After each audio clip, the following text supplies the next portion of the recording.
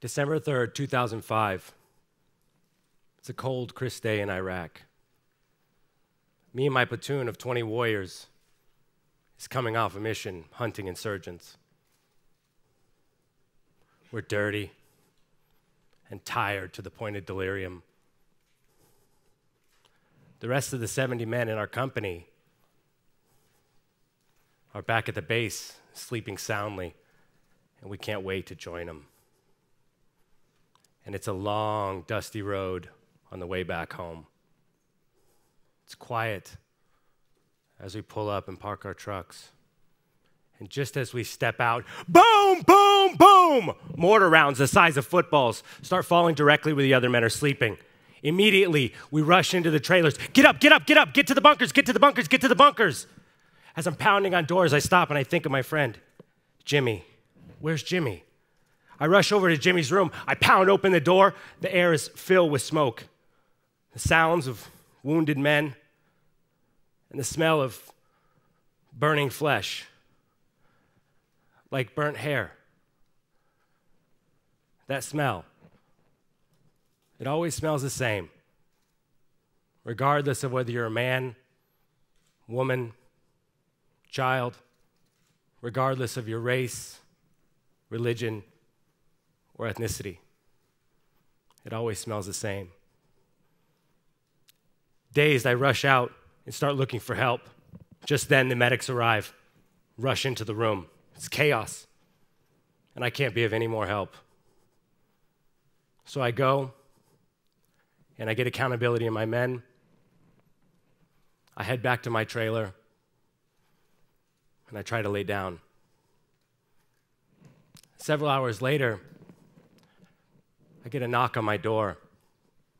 It's my section sergeant telling me what I already know that my good friend Jimmy is dead.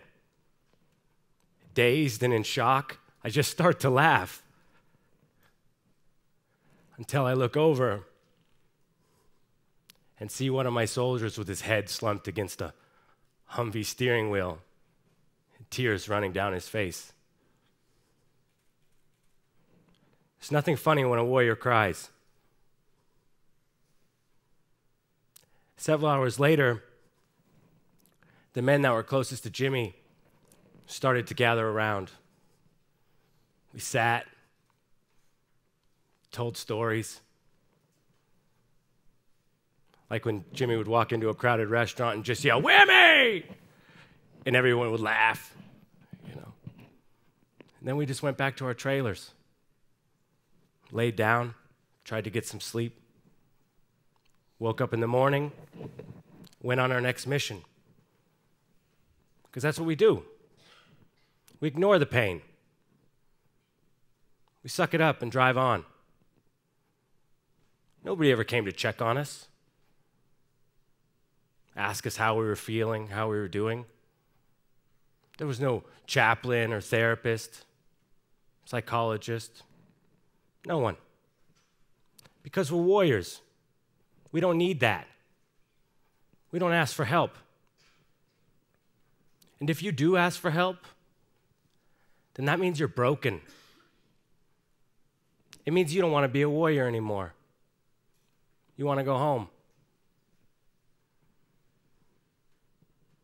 That was my third and final tour. The military breaks you down as an individual and builds you up as part of a squad. It teaches you to adapt and overcome in some of the worst situations a human being could possibly face and never ask for help. Yet the deep scars that we carry physically, emotionally, and psychologically, they never go away. For us, the war doesn't end once we get home. And the only way to get help is to ask for it.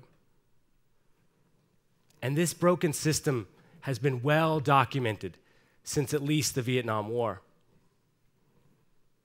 In that conflict, over 58,000 American warriors lost their lives in battle. And another 150,000 took their own lives after returning home.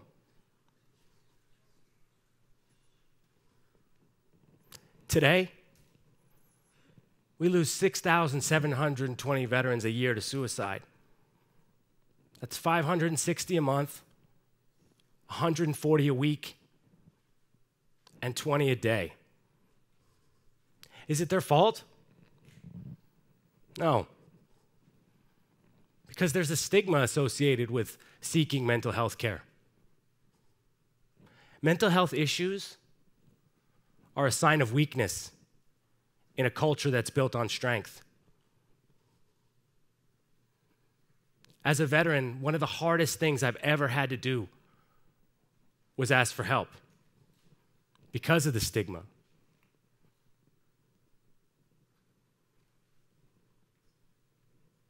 Who doesn't know a veteran? Perhaps your father, your grandfather, your son, your mother, your sister, your neighbor, coworker, someone. There's veterans all around us. Veterans issues affect us all. Warriors support everyone. We need everyone's support. There's a few things that can happen.